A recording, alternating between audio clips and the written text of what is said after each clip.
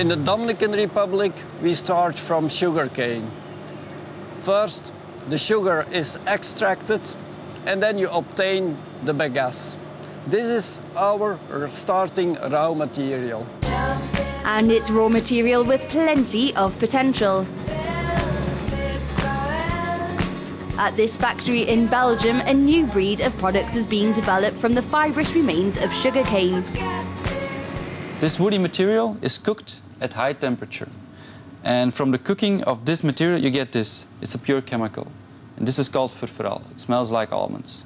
And this is the basis of our new, new products. So we have a, a full polymer form of, uh, of and we impregnate various substrates with it.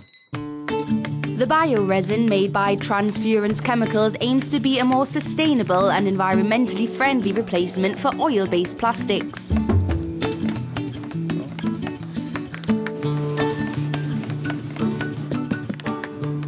First example is, is the interior market. There we make uh, decorative high-pressure laminates.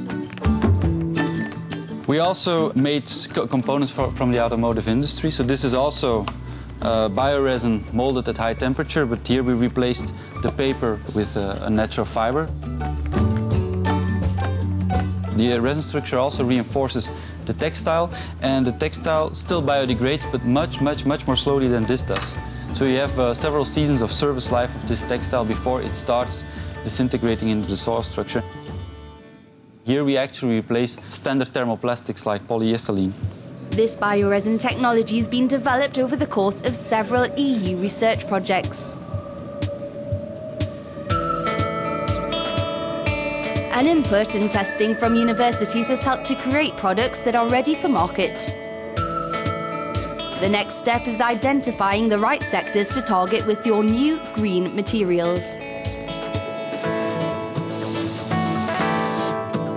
Products from biomass is interesting it is nice to have an eco or a bio label on your product, but it's most of the time not enough. You have to bring more added value to the market.